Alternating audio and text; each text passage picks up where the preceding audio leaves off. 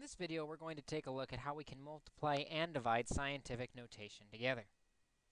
As we do this, just like multiplying or dividing in separate problems, we will multiply and divide the numbers. And then we will use our exponent properties.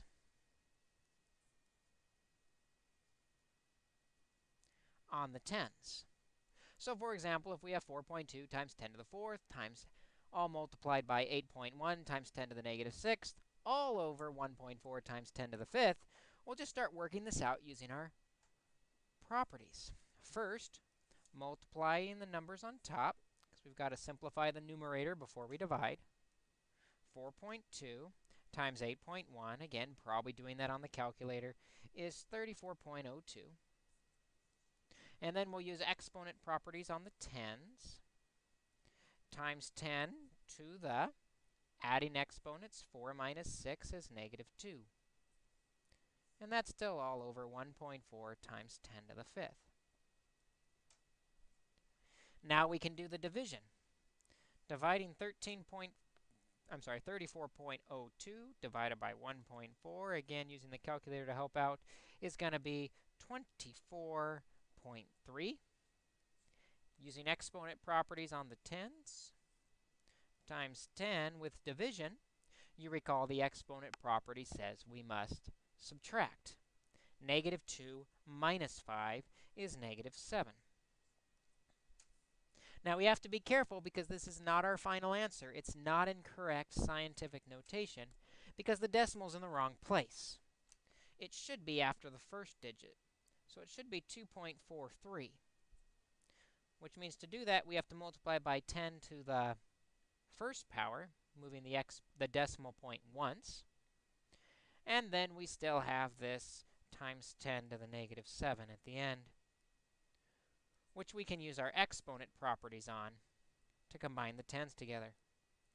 Our final answer is 2.43 times 10 to the, adding exponents, negative 6th power. Let's try another example. In example 2, we notice the multiplication has to be done in the denominator, but the pattern is much the same. Multiplying the numbers together, again, the numerator still going to be the same, 2.01 times 10 to the negative fifth, all over. In the denominator, 1.5 times 3.2 is 4.8. And then we'll use our exponent properties on the tens. Adding the exponent negative 3 and negative 4 gives us negative 7. Then we're ready to divide.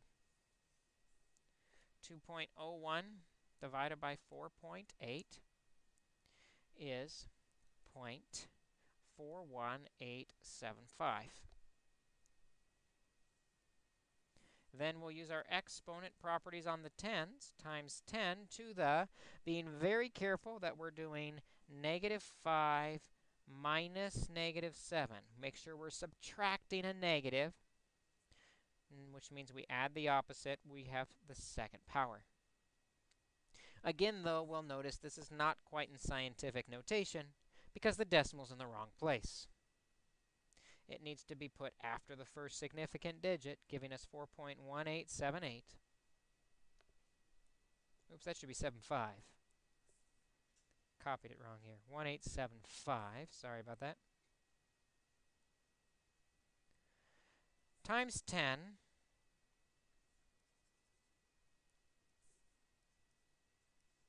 because we moved the decimal point once, but it was too small, so it has to be a negative 1.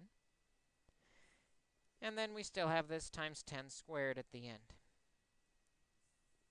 which means we'll use our exponent properties to combine the last few tens together and for our final answer, we have 4.1875 times 10, adding the exponents to the positive 1 power. Do that multiplication first, then divide what's left. Make sure your final answer is in perfect scientific notation, and we've arrived at our solution.